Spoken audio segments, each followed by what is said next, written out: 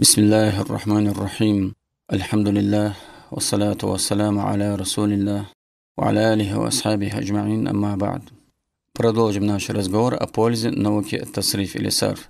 Как мы уже упоминали, первой и самой важной пользой науки тасриф является правильное понимание книги Аллаха Корана, а также хадисов, так как эта наука, так же как и наху, синтаксис, является ключом к пониманию шариатских текстов.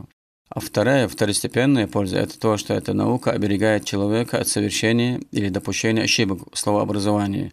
Посредством знания этой науки человек может облекать свои мысли в такие словесные формы, которые могут точно передать его мыслям. Например, действительное причастие или форма э, причастия действительного залога фа'ль ларибун переводится как бьющий, и его усилительная форма э, причастия действительного залога модели фа'алун, то есть мубалих, то есть муфа'алим, даррабун, то есть сильно бьющий например, сильно бьющий или же боксер, допустим. И имя степени сравнения и превосходства, то есть исму тавдиль или же афалю тавдиль то есть превосходящий других в. Самый сильный, как бы самый бьющий. Также к пользе изучения этой науки можно отнести то, что знание этой науки помогает человеку избегать ошибки в правописании, то есть написании арабских слов. Например, в науке сарф изучается правило, которое гласит, что буква алиф в трехбуквенном глаголе или имени не является не может быть изначально быть корневой буквой, а всегда является заменой буквы вау или я. Первой буквой, первой буквой алиф никогда не может быть, так как сущность алифа состоит из долготы ударения для фатхи предыдущей буквы.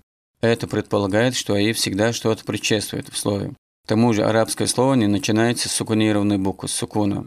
Будучи второй буквой, она всегда пишется в виде альфа, в форме альфа, а не в виде я. Однако, будучи третьей буквой в трехбуквенном слове, будь это имя или глагол, ее написание зависит от того, что являлось той изначальной ее основой, буквой алиф. То есть, что являлось последней буквой вау или я, которые впоследствии, согласно правилу науки сарф, были заменены на алиф. Итак, если третья буква изначально была буквой вау, то после ее замены на букву алиф, алиф будет писаться в виде алифа, в форме алифа, а не буквы я без точек. Например, да'ава и да'a аль-асаву в имени и аль-аса, палка посох. Значит, если мы видим на конце трехбуквенного слова алиф в виде алифа, то есть палочки, то мы знаем, что здесь изначально была буква Вау. Ну а если изначально у нас третья буква трехбуквенного слова была буква Я, то после ее замены на алиф этот алиф будет писаться в виде буквы Я без точек. Например, Рамая и Рама, Рама Ерми бросил аль-фатаю и аль-фата в итоге, то есть юноша. Значит, если изначально у нас была буква Вау, то после ее замены на алиф, этот алиф будет писаться в виде алифа. Если изначально была буква Я, то она будет писаться в виде э, Я. То замененный из нее алиф будет писаться в виде Я. А делается это для того, чтобы они отличались. То есть как различительный знак между ними.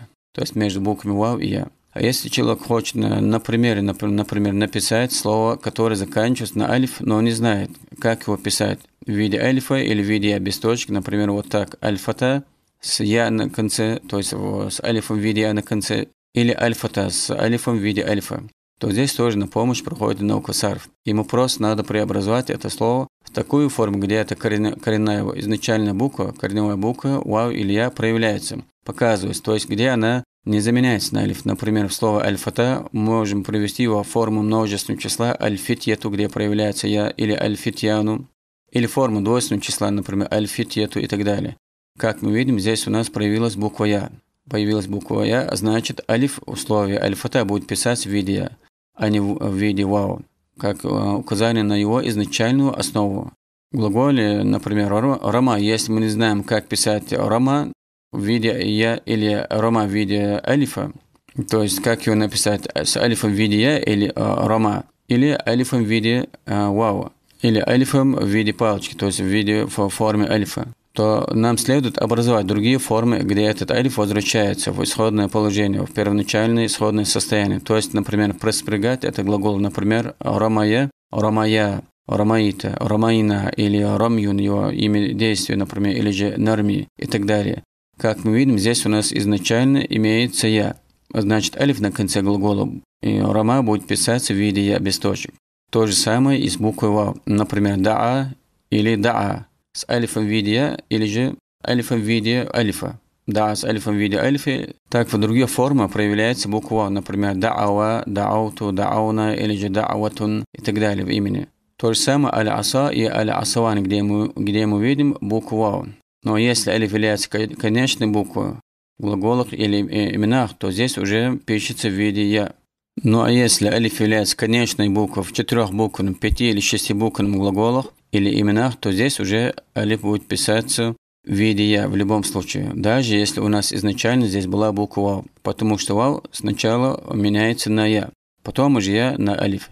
Например, истад'ава становится сначала истад'a. Истад'ава образован от глагола да'a яд'у. Истад'ава становится сначала истад'ая, а потом уже истад'a. Как мы видим, буква алиф, являющаяся здесь шестой буквой, пишется в виде буквы я без точки. Если мы образуем форму двойственного числа, мы скажем истад'ая, а не истад'ава, так как я считается более легкой э, в произношении, чем буква Аллаху алям. Та же картина будет и в, э, в четырех или пятибуквенном глаголах, например, аддава и аддая, и в итоге адда. И атадава, пятибуквенном и атадая, и, наконец, и атада. Например, исташфа, исташфая, исташфа. Аль-мусташфа, например, тоже аль пишется в виде буквы я без точек. Аллаху алям.